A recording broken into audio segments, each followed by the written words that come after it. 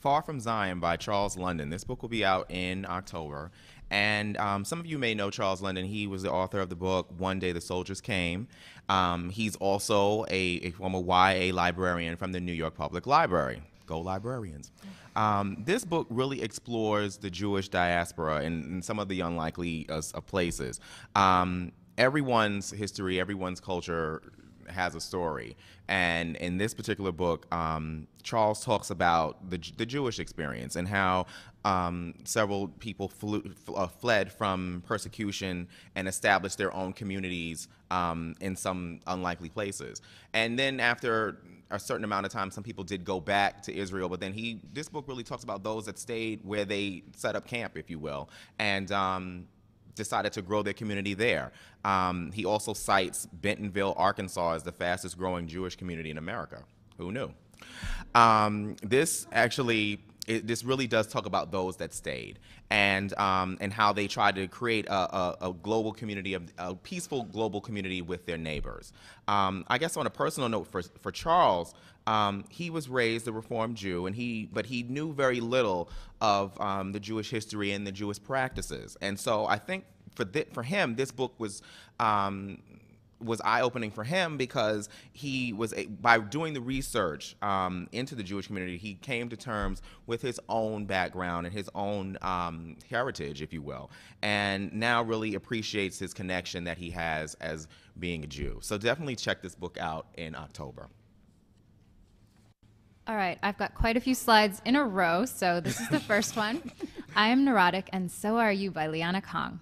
Isn't that a great title? I absolutely love the blog that this book comes from. It is iamneurotic.com. Has anyone been? Well, you should. It's a place where neurotics of all kinds can come together and anonymously post their strangest and most eccentric behavior. Now, some of this stuff is weird, but um, it is hilarious. Here's one of the weirder ones. It's called fake hand washing. This woman wrote, well, actually, it could be a man, I don't know. I don't wash my hands every time after going to the bathroom because I don't want to aggravate my dry skin too much. But I want everyone to think I've washed my hands, so after I flush, I turn on the faucet and let the water run for people to hear. I want it to be believable though, so I mime washing my hands to make sure I let the water run for exactly how long it would take for me to really do it. Now, if you think that's gross, 788 people have commented on that post and said, Me too. okay, and this one I love. It's it's called Any Requests Don't Kill Me. All right. If I am home alone and decide to take a shower, I get really scared that someone will break into my house and kill me when I'm naked and vulnerable. To keep this from happening, I sing different genres of songs in the shower rap, show tunes, country. I do this in hopes that the killer will enjoy one of these types of music and, and decide against killing me. All right, so in house, we're calling this book Post Secret for Neuroses. It is chock full of voyeurism and laughs. It's hilarious. So um, do yourselves a favor and check this one out. Next up, we have The Hidden by Tobias Hill. This takes place during a 2004 archaeological dig in Sparta, where a close knit group searches for buried traces of a formidable ancient power. Ben Mercer is a latecomer to the dig and finds himself drawn to the charisma of the members of this group. They all have something to hide, they're all incredibly loyal to one another, and uh, they're a little sketchy. So, Ben is an archaeology student running from his failed marriage and baby daughter, and he's willing to join the excavation no matter the cost. He has too much to escape, and he can't go back home. The Hidden ends up becoming a fascinating study of group dynamics, and it's a look at the games we play to stay in control. It interweaves scenes of ancient Sparta with present day events, and it's a page turner with substance. It's impossible to put down. And next up, we have The Sandfish by Maha Gargash. Um, this book is set in the 1950s in what makes up Dubai and the United Arab Emirates today. Having grown up in a really isolated place with parents who were indifferent to the ways of society, 17 year old Nora is unlike other women in her country. She's willful and fiercely independent. She won't listen to anyone. When her mother dies and her father goes mad, her brother assumes responsibility for the family and he forces her into an arranged marriage. Nora refuses and flees to a nearby village where she falls in love for the first time with a man who truly recognizes her beauty and her independence and her spirit. But this man is also promised to another, so Nora is heartbroken. She returns home and consents to be married to the original uh, man who she was supposed to be with, and he's a rich pearl merchant. The shape of her life changes forever as a result of this event, and um, the story takes its title from an animal that Nora had encountered in the desert the sandfish, a desert skink that she once spotted in the mountains when she was walking. In its panic at her intrusion, it dove itself into the rocks again and again until it bashed its snout and died. Just like the sandfish, Nora is stuck in the wrong place, struggling to escape. And the book is incredibly poignant. And uh, it's really a window into a culture that has frequently been shrouded in mystery. It's a must read. Um, it's incredibly interesting, and it's also a very beautiful story. And then we have 10 Storey Love Song by Richard Milward. Um, this is quite different from the previous book. Richard is a fellow 20 something and something of a prodigy. His debut novel, Apples, was published at the tender age of 21.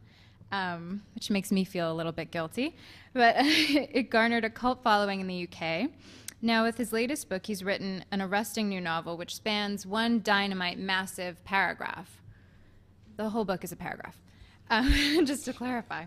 Ten Storey Love Song follows the inhabitants of an apartment building. Uh, Bobby, the artist, who rises to stardom and uh, ends up heavily uh, sedated with drugs. Johnny, who attempts to stop stealing and please his girlfriend in bed.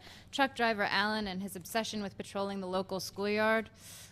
Ten Storey Love Song is a difficult novel to explain, as you could probably tell, but uh, not at all difficult to enjoy. It's a cutting but charismatic portrait of a deeply dysfunctional, creative, and drug sodden world.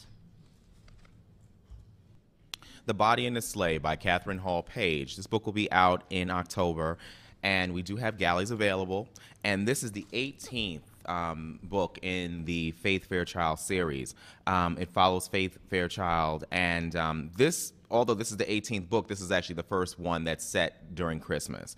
And it's set on Sanpere Island in Maine. And um, basically, they discover a body of a young woman in a sleigh.